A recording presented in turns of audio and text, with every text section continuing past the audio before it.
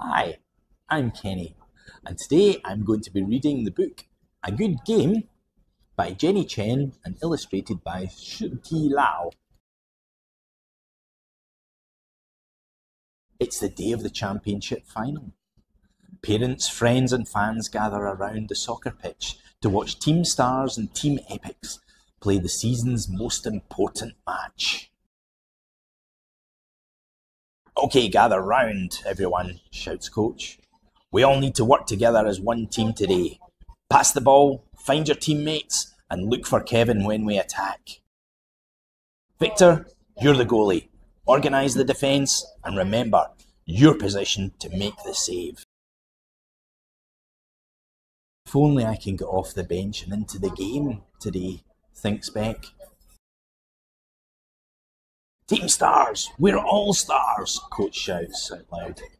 The team huddles and builds their energy chanting, Stars, stars, superstars. Victor, who's wearing the number one jersey, says to himself, I'm the best. Coach trusts me to play a good game, and the team needs me. I will do everything I can to stop the Epics from scoring. The match kicks off at a furious pace the Epics attacking Victor's goal. When the Stars get the ball, they go forward and pass the ball to Kevin to lead their attacks. Both teams are competing fiercely, neither giving anything away. The game goes into the second half and the score is tied at 1 1. A crowd is shouting and cheering, encouraging both teams to score the winner. Ouch! Out of my way! Oh, so close, nearly another goal. Suddenly, a player goes down. He looks like he's in a lot of pain. Coach looks to the bench and says, Beck, warm up. Get ready. We need you to play. Epics attack again. The Stars defenders can't get the ball. Epic striker goes through and he shoots. Victor dives to make the save. Yes! Victor clutches the ball and jumps up right away, ready to pass the ball to his teammates. He sees Beck. There is no one around him. Victor shouts, Beck! and throws the ball out to him. The ball flies through the air. Beck closes his eyes and kicks as hard as he can. The ball loops up into the air. Over Victor and into the stars go. Oh no. That's the wrong goal, shouts Kevin. What are you doing? Coach yells. Oh, Beck, cried his parents. The referee blows a whistle and gives the goal to the Epics. The fans sigh in disbelief. Beck stands alone on the pitch, his head down, fighting back the tears. Stars, let's go! We still have time to score! A loud voice cuts through the jeers and moans it's, it's Victor. Runs out to Beck and puts his arm around his slumped shoulders. Head up, Beck! We cannot give up! We play right to the end. Anything is possible. The fans go silent as they watch Victor and Beck. One, two, and all of the fans rise to their feet and cheer Victor, Beck, and the team.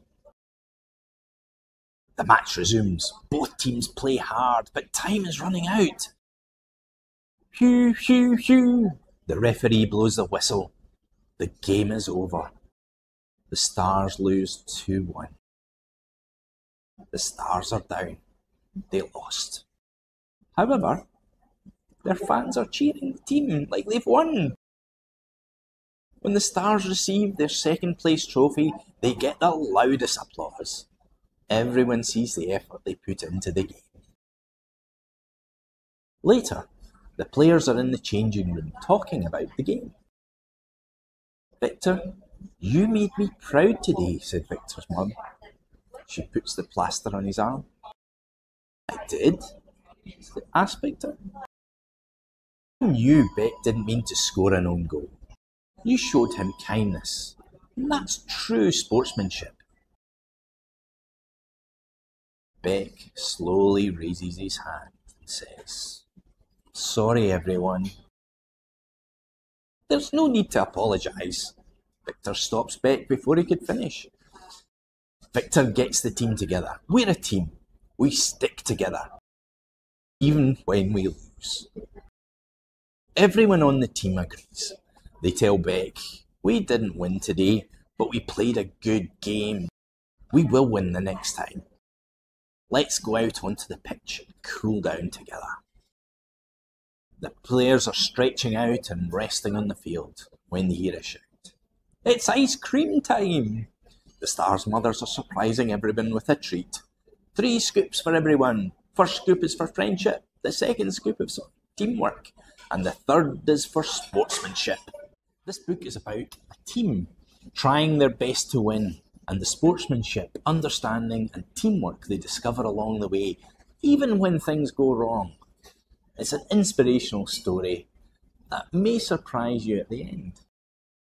Also, at the back of the book has some soccer trivia and explains how lots of countries had their own version of soccer way back in history and how it's developed. We also tell you about the soccer ball and why the colour is important, and the jersey and what not to do with your jersey on the pitch. And finally, the ball is round, which is a famous quote by a manager of the German national team saying the game is very simple. As long as you keep your teamwork and your belief together, anything is possible. I hope you enjoyed the book as much as I did.